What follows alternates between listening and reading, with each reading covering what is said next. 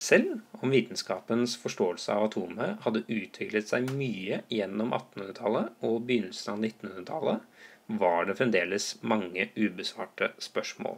I Rutherfords atommodell fra 1911 gikk elektroner i bane rundt en positiv kjerne. Men ifølge klassisk fysikk burde dette ført til at elektronene ville kollidere med atomkjernen. Imidlertid var det på denne tiden en ny type fysikk under utvikling, den såkalte kvantefysikken, som beskriver de minste partiklene i universet. Et viktig element i kvantefysikken er at systemer ofte bare kan eksistere i bestemte tilstander. Dette kom til å ha mye å si for atommodellens videre utvikling. I 1913 foreslo dansken Niels Bohr en ny atommodell, som forutsatte at elektroner bare kunne bevege seg i bestemte avstander fra atomkjernen. De tillatte avstandene kalte han skall, og hvert tilsvarte at elektronene hadde en bestemt energi. Skallene ble betegnet med hver sin bokstav, K, L, M N, hvorav K er det innerste skallet med det laveste energinivået mens energien øker i skallene lenger unna kjernen. Hvert skall har plass til et visst antall elektroner. K-skallet har plass til to elektroner, L-skallet har plass til åtte elektroner, M-skallet har plass til 18 elektroner, og N-skallet har plass til 32 elektroner.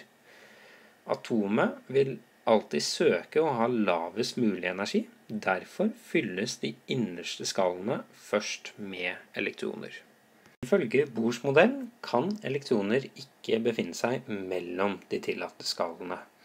Og for å bevege seg fra ett skall til et annet må de absorbere eller avgi bestemte mengder energi.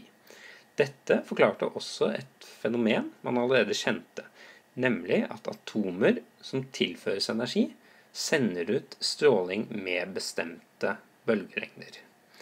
Hvis et elektron i et lavt skall tilføres en tilstrekkelig mengde energi, kan det bevege seg opp til et høyere skall. Denne prosessen kaller vi eksitering. Tilsvarende, når elektronet faller tilbake til et lavere skall, må det avgi en bestemt mengde energi, som da sendes ut som stråling med spesifikke bølgelengder. Dette kaller vi deeksitering. La oss se på et eksempel her med et elektron i K-skala. Hvis det tilføres en tilstrekkelig mengde energi fra stråling, så kan det bevege seg opp til L-skala. Dette er da prosessen vi kaller eksitering. Etter en stund kan elektronet falle tilbake til K-skallet. Da sender du ut stråling med en bølgelengde som tilsvarer energidifferansen mellom L og K-skallet, f.eks. da rødt lys. Dette kaller vi D-eksitering. La oss se på et annet eksempel hvor elektronene tilføres stråling med mer energi. Altså så har strålingen kortere bølgelengde. Og hopper opp til M-skallet. Etter en stund vil det da falle tilbake til K-skallet og sende ut stråling som tilsvarer energidifferansen mellom M- og K-skallet. Som f.eks.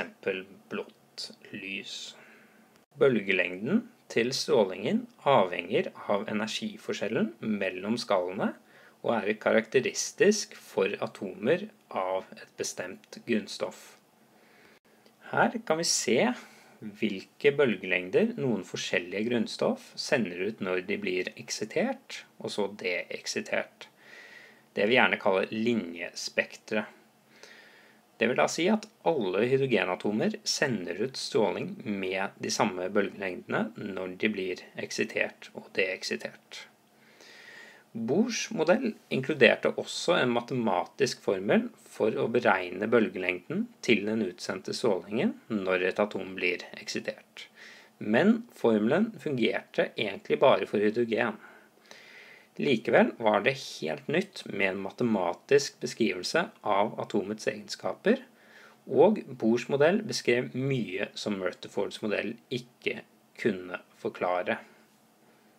Den største forskjellen fra Rutherfords modell var kanskje likevel at Bohr tok i bruk kvantefysikken for å beskrive elektronenes plassering og bevegelse i atomet. Dette ga en helt ny forståelse av atomet.